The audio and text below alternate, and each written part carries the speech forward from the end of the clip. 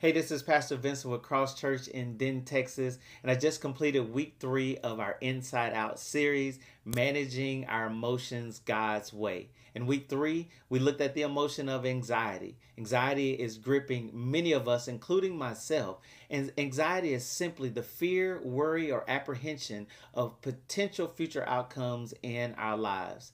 I looked at the story of Elijah in 1 Kings chapter 19, who, after experiencing a great victory, now had been threatened of his life by Queen Jezebel.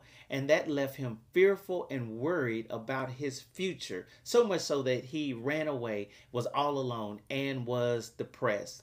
Friends, know this anxiety will rob you of your present victories. Think about it. When we are focused on what God is doing right now in our lives, it minimizes our focus on the potential outcomes of tomorrow. In the end, what we know is if God is blessing me now, He will take care of tomorrow.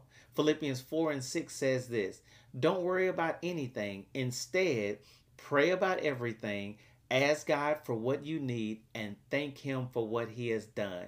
Gratitude and anxiety cannot coexist. When you focus more on one, it minimizes the focus on the others. So, as you go through this day this week, let's focus on what is God doing in your life right now and let's worry less about what could happen tomorrow. If you like this and want to know more, check out the full sermon on our uh, YouTube page or on our website at Cross Church Denton. Until next time, have a great week and be blessed.